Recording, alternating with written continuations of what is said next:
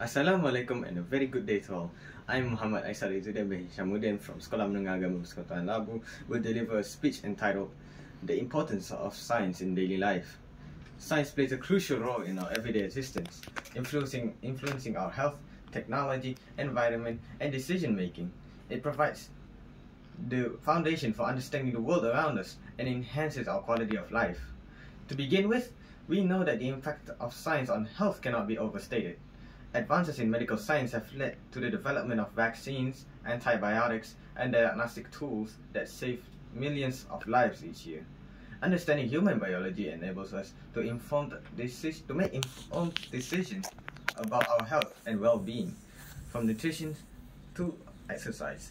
For instance, scientific research has clarified the importance of a balanced diet, showing us how certain food can prevent disease and promote longevity. On top of that, science plays a crucial role in our daily lives, often in ways we don't even realize. From the technology we use, like smartphones and the internet, to the health and safety standards that keep us secure, scientific principles underpin much of our modern existence. In cooking, for instance, understanding chemical reactions can enhance flavors and improve food safety.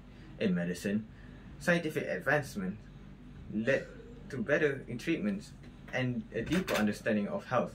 Even in environmental issues, science helps us make informed choices about sustainability and conservation. Moreover, science is essential for environmental awareness. Understanding climate change, pollution, and biodiversity loss helps us make a better choice for the planet. Scientific research informs policies and practices that promote sustainability, such as recycling and renewable energy initiatives. By applying scientific knowledge, we can mitigate our impact on the environment and work toward a healthier planet.